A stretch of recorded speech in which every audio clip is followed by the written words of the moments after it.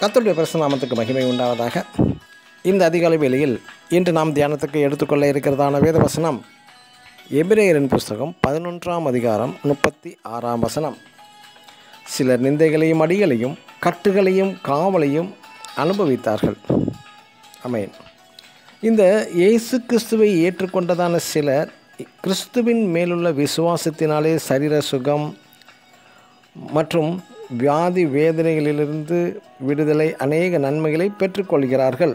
அதே சமயம் நிந்தைகள் அடிகள் கட்டுகள் காவலையும் அனுபவித்தார்கள். இங்கு சொல்லப்பட்டதான நிந்தைகள் என்பதை ஆங்கில மொழிபெயர்ப்பில் நாம் பார்க்கும்போது குரியல் மோக்கிங் அதாவது கொடூரமான பரியாசங்கள் என்று அழைக்கப்படுகிறது. எப்படி என்றால் நீங்கள் கஷ்டப்பட்டு வேதனைகள் இருக்கும் சமயத்தில் பரியாசம் உங்களை செய்தால் அதிலே அதுதான் கொடூரமான ஒரு பரியாசம் என்பது. உதாரணமாக இயேசு கிறிஸ்துவை வாரினால் அடிப்பித்து முள்ளுகளினால் தலையை பின்னி தலையில் வைத்து ஒரு கோலையும் தந்து முழங்கால் படியிட்டு யூதருடைய ராஜாவே வாழ்க என்று அழைத்தபோது இயேசு கிறிஸ்துவின் சரீர வேதனை மன வேதனை சமயத்தில் இன்னும் அதிகமாக பரியாசம் செய்யப்படுதலே ஒரு கொடூரமான பரியாசமாகும்.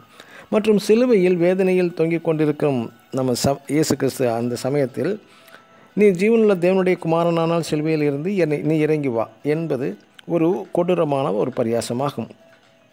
எனக்கு அன்பான தேவனுடைய பிள்ளைகளே நீங்கள் தற்சமயம் நெருக்கடியான சூழ்நிலையில் இருக்கலாம். ஏற்கனவே சரீர வேதனைகள் கூட இருக்கலாம். சில தொழில்கள் நசுக்கப்பட்டு பொருளாதாரம் இழந்த சூழ்நிலையில் கூட காணப்படலாம். இது போன்ற சமயங்களில் இன்னும் மற்றவர்கள் பரியாசம் பண்ணப்படும் போது உங்களை குற்ற சுமத்தம் படும்போது இந்த சூழ்நிலை மத்தியில் இயேசு கிறிஸ்து பட்ட பாடுகளை நினைவில் கொண்டு சந்தோஷமாக பாடுகளை அனுபவிக்கும் போது நீங்கள் விசுவாச வீரர்கள் என்று அழைக்கப்படுவீர்கள். உங் நீங்கள் கனப்படும் போது ஆசீர்வதிக்கப்படும் போது கத்தருக்குள் மகிழ்ச்சியாக இருக்கும்போது எளிது. ஆனால் அப்போ சொன்னாய பவுல் பேதிரு மற்றும் பனிரெண்டு சீசர்களும் கிறிஸ்துவுக்காக நிந்தைகள் அவமானங்கள் அடிகள் கட்டுகள் காவலியும் சகித்து மறித்தார்கள். ஒன்று பேதிரு இரண்டாம் அதிகாரம் இருபத்தி ஒன்றாம் வசனத்தில் நீங்கள் தம்முடைய அடிச்சுவடுகளை தொடர்ந்து வரும்படி உங்களுக்காக மாதிரியை வைத்து போனார் என்பது இயேசு கிறிஸ்துவின் நற்போதனைகள்.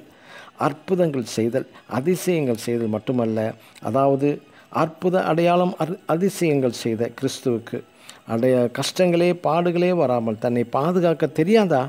கழு சிலுவையிலிருந்து இறங்கி வர தெரியாதா? எப்ரேயர் பன்னிரெண்டாம் அதிகாரம் இரண்டாம் வசனத்தில் சொல்லப்படுவது கடைசியாக கிறிஸ்து தேவனுடைய வலது பாரசத்தில் வீற்றிருக்கிறார் என்று.